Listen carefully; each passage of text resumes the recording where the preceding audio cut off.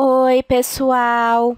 Hoje nós vamos falar sobre o nosso mundo e do que ele é feito. Quando andamos pelas ruas, quando saímos de casa ou até mesmo dentro de casa, nós vemos muitas coisas diferentes, não é mesmo? Vemos construções, vemos animais, plantas, outras pessoas. Então vamos entender o que são essas coisas?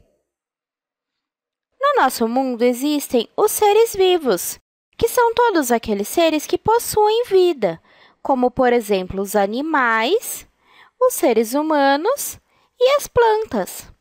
Mas o que significa ter vida? Todos os seres vivos são aqueles que nascem, crescem, se reproduzem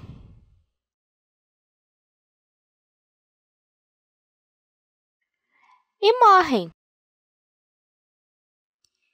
Isso significa ter uma vida, a capacidade de nascer, crescer, se reproduzir e morrer. Também existem os elementos não vivos, que são aqueles que não possuem vida, mas são essenciais para que a vida aconteça, como, por exemplo, a água, a terra, a areia, o ar, a luz do sol, as pedras. Todos esses elementos, apesar de não possuírem vida, são essenciais para que a vida aconteça. Sem eles, a vida no nosso planeta não existiria. E por último, nós vamos falar dos objetos.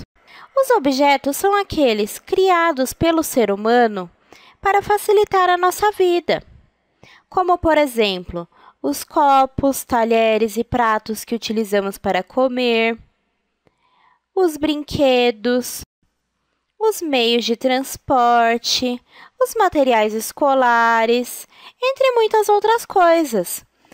Tudo que é criado pelo ser humano é considerado um objeto. Então é isso. Eu espero que vocês tenham gostado e até a próxima!